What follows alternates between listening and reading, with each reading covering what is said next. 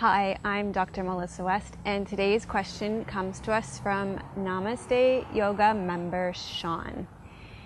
He asks, Is there any yoga that I can do for allergies? He says, Wow, it's been a while since I've had any sort of allergic sneezing spells, but I can't even sit still before I start another sneezing fit.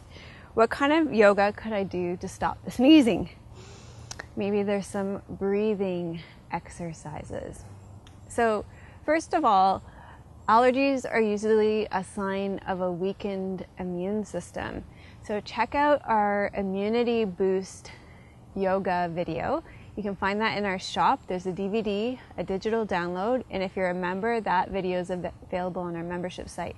Also, cut out sugar because sugar is one of the major things that wreaks havoc on your immune system. If you have any sugar, it suppresses your immune system for four hours. So just cut the sugar. That's a really big one. Also, another thing you might want to consider is having a personalized sadhana put together for you because we could address your allergies and other things that go along with it and put together a personal practice for you for the next 40 days that would deal with your allergies. So that's also available on my homepage. There are some other things you can do. Uh, Kapalabhati breath is a great breath practice for allergies. You want to clear your nasal passage first. Um, actually, this is the speaking of clearing your nasal passage. One of the best things you can do for your allergies is to use a neti pot. The way this works is you fill it with. I always use boiling water because it's clean. So boil some water, put boiling water in it, then put salt in it so it's um, saline solution because then it's the same as your body. If you don't create a saline solution, it's really going to sting your nose. So create a saline solution, let it cool down so that it's not too hot for your nose. Once it cools down, then what you do is you put the neti pot in one nostril, you tip to the side, and then it goes up and it flows out the other nostril. It takes a little bit of getting used to. It's like getting water up your nose when you're in the pool.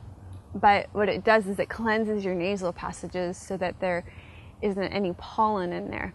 And I know I too suffer from allergies at this time of year because of ragweed. And I do then I use the neti pot every single day at this time of year.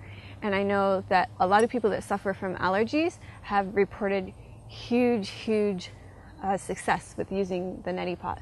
So clear your nasal passages. Actually, before I started using the neti pot, I couldn't.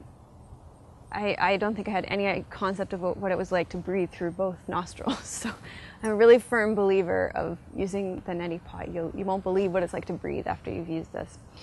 So use the neti pot, clear your nostrils. Once you've done that, then Kapalabhati breath. So Kapalabhati breath is the active exhalation where you draw your navel back and then you relax your navel and it's a passive inhalation. So it goes like this. So that's another one where it's just going to clear any excess pollen that might be in your nasal passages.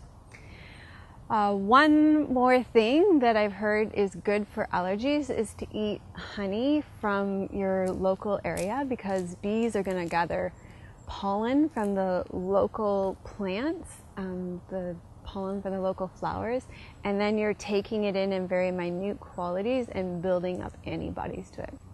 So that's my best advice to you for yoga for allergies. Finding a great yoga class is becoming more costly and difficult.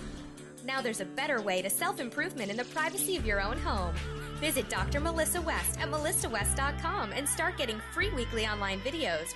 Real yoga for real people.